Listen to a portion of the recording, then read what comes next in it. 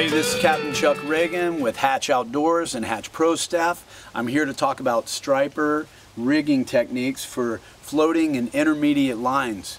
Um, here in Northern California, we fish for striper in a lot of rivers as well as the California Delta. Uh, when I'm fishing floating or intermediate lines, it's usually in shallower water, slower moving water, or clearer water.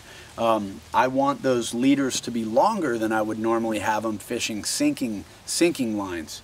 Um, this leader setup goes like this. From the reel end of our fly line, we're going to cut off the existing loop of a, of a welded welded uh, line and we're going to build our own. We're going to do a series of three nail knots using 20 pound uh, fluoro there. We're going to cinch those together and stack them, butt them all together.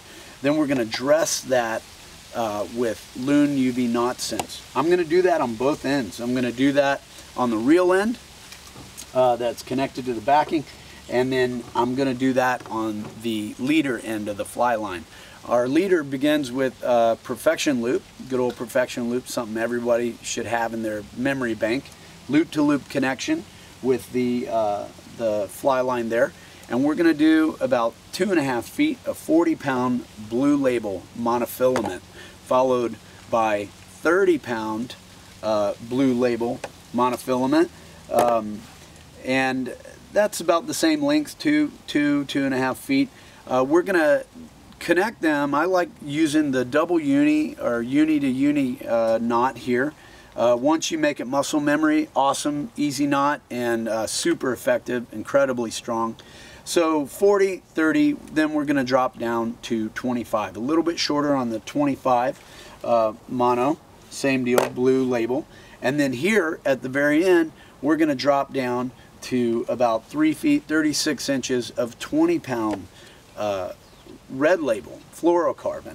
Um, you can use 20 pound uh, mono as well. Uh, this all depends on uh, what, what you want your flies to do and how you want them to be presented.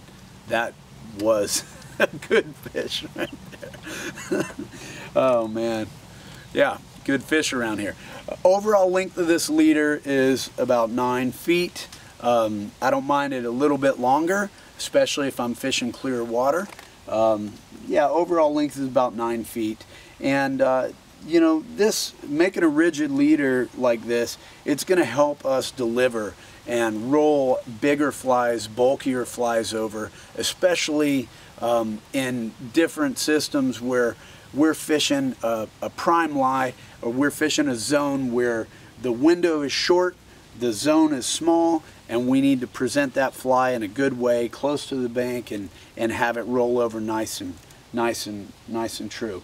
Um, again you can you can bump all this up if you're fishing bulkier flies. 50 40 30 25 etc for more rigging techniques on on this rig uh, visit hatchoutdoors.com as well as many other techniques from other hatch pro staff. This is captain chuck ragan. Thanks for joining us